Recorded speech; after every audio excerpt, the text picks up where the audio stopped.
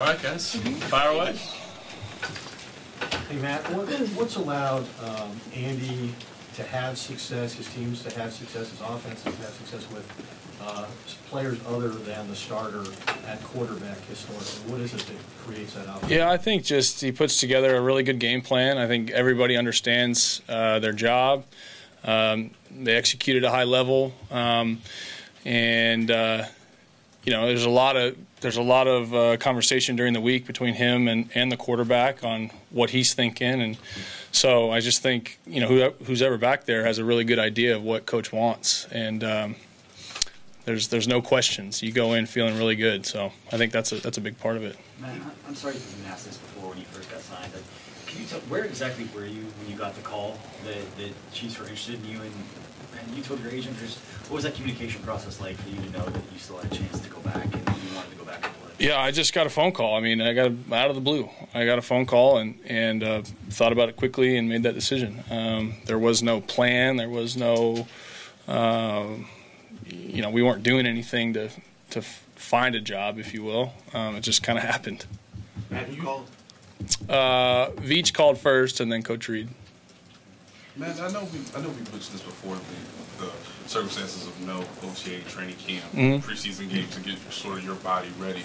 Um, because of your experience, what have you taken from that that you can apply to keep your body as fresh as possible? Yeah. Playing in the middle of the season, understanding guys are trying to Yeah, uh, be physical. Yeah, and then obviously, you know, you do a lot of training in OTAs and training camp, which I didn't have. So I think instantly when I got here, it, I kind of got into that mode a little bit, and then especially when you start playing, you, the recovery is crucial. Um, so that's been big, just trying to feel as good as you can uh, every day. So it's it's a it's an everyday thing, and and the people we have here do a really good job of, of making sure you're in the shape you need to be in and, and feel the best you can. Is there, is there one trick you took from Carolina or Miami apply here? I don't. I. I don't know. I mean, in season, it's a different beast. You know what I mean? So I think you just go out and, and practice hard. I mean, that's going to probably be the best thing for you. Just practice as game like as you can. Um, I mean, there's no secret other than doing whatever you can do to, to feel your best. Matt, have they talked at all about what will happen when Patrick comes back? No, no, we're we are uh, kind of in the same pattern we've been in in the past couple weeks. Um, we're we're day to day and and moving forward uh, uh, similar to last week. So um, practice wise, you know, again, take advantage of the reps that you get, um, and just kind of go that way. Now, have you played with a receiver in your career that's quite got the combination of skills that Tyreek does?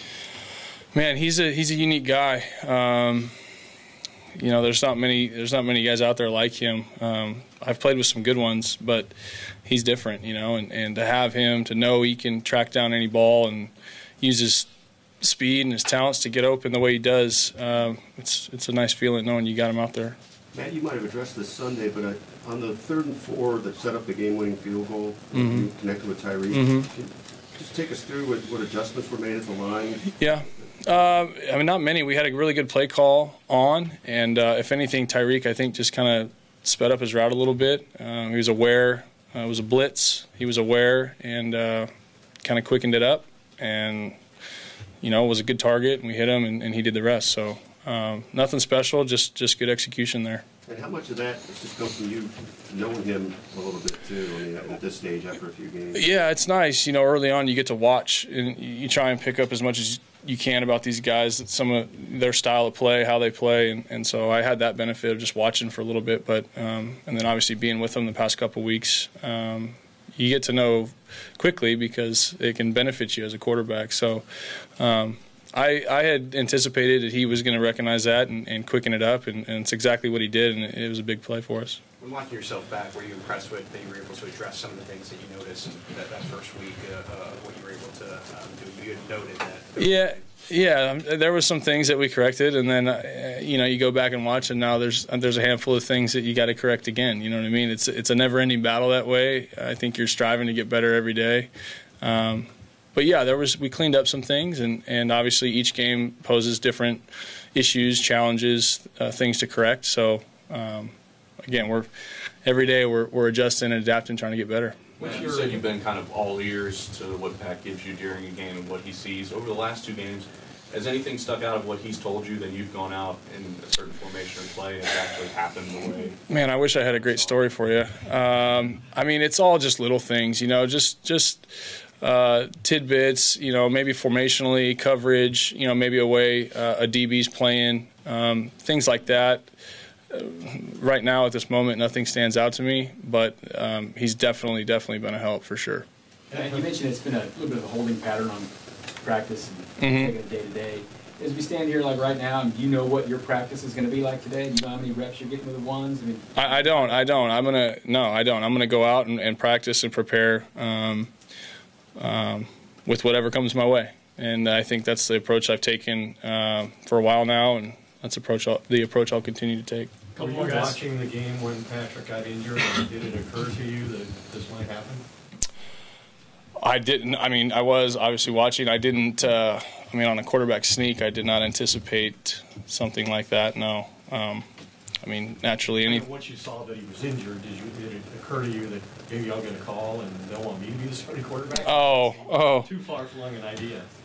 Yeah, I don't know. I don't know. I I don't know if I thought that. I just it's it's been wild. I've been trying to like I said day to day. I mean, that's the most honest answer I can give you. Matt, tell us about Patrick as a teammate.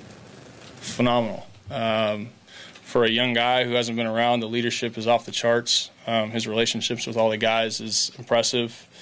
Uh, the way he communicates, um, the respect that he shows for everybody. I mean, it's he's what you want. Um, it's really impressive to see.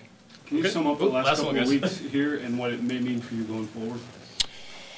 Yeah, I mean, who knows? Uh, It's uh, it's been a wild couple weeks. Um, it's been fun.